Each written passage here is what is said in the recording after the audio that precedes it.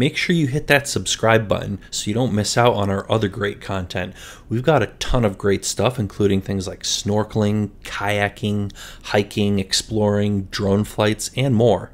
We show you interesting places from around the world, and we even try to give you helpful info and recommendations, gear review, and, and lots of other great stuff. And we show you what's out there and, and you know show you things that you might want to try out yourself. You might also want to hit that thumbs up button and also remember to leave a comment down below. We want to know what you think. Also, if you have your own experiences, we want to hear about those too, so definitely leave a comment down below. Now, as always, Thanks for watching, and we'll see you guys on that next video.